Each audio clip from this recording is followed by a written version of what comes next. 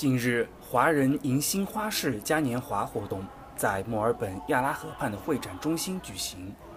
大红的灯笼、鼓、绸缎，把整个展厅装扮出浓浓的新春喜庆气氛。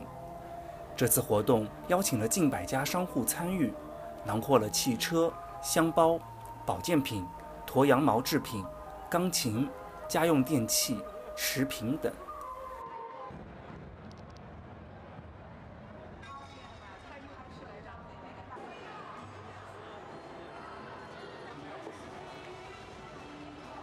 展厅的中央还布置有一大片桃林，喜庆的灯笼和祝福挂满了枝头，吸引了众多游客在树下合影留念。活动期间还穿插有儿童传统武术表演和太极表演，为整个活动增添了另一番乐趣。